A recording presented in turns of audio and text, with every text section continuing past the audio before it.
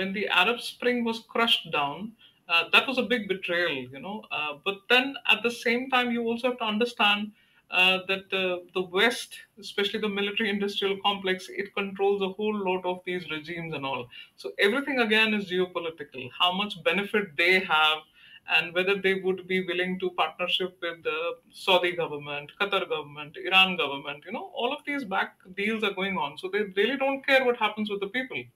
Arab Spring was more of disgruntled population.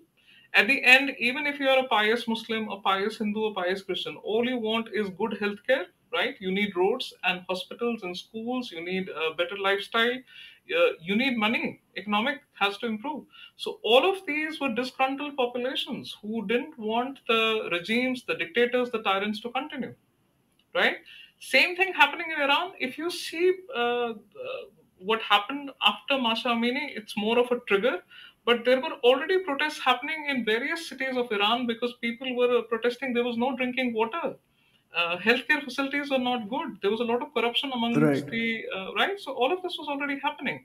What happened was Mahsa Amini's custodial murder triggered another revolution. You can see the videos coming out of Iran are very inspiring. You know, it's it's amazing the bravery that they're yeah. showing against the Revolutionary Guard. But again, being skeptical that some Western uh, power might interfere again considering some back deals going on. So that is always there. That is always there. But so far as we can see, it's an organic movement.